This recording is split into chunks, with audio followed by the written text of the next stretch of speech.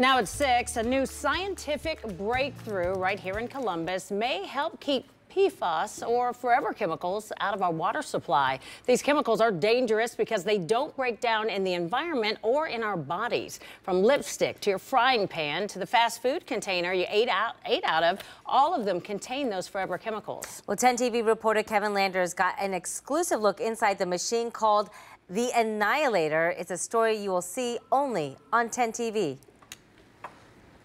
So this here is the reactor where uh, the PFAS is destroyed and it breaks the carbon fluorine bond within this reactor. It's called the Annihilator, developed by Battelle scientists to combat one of the most perplexing problems in the environment called PFAS. Scientific evidence shows that the way you're going to be most exposed to PFAS is through drinking it. Until now, removing PFAS or forever chemicals from water proved unattainable.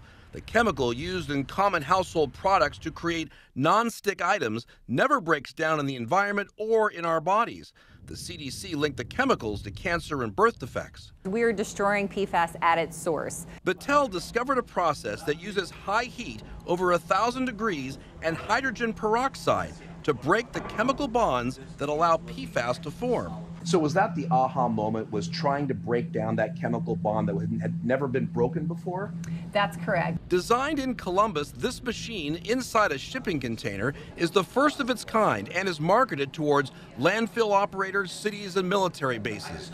Once the annihilator treats the contaminated water, what's left can be put back into the environment without a trace of PFAS. For two decades, Battelle scientists have been studying the impact of PFAS. For now, the Annihilator will destroy any water contamination, but soon it will be used in soil and solid contamination. That's what we're currently working on to advance this technology to be able to handle solids. With the goal of keeping PFAS out of your drinking water forever.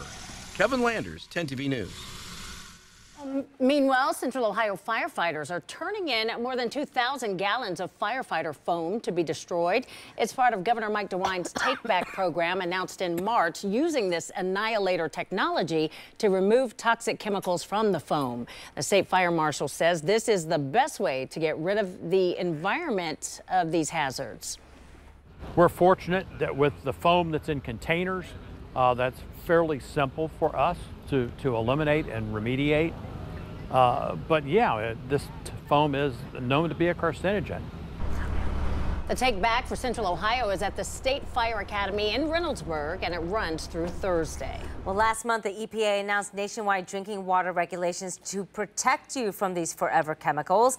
You can find Kevin's story on our website with much more information, 10tv.com.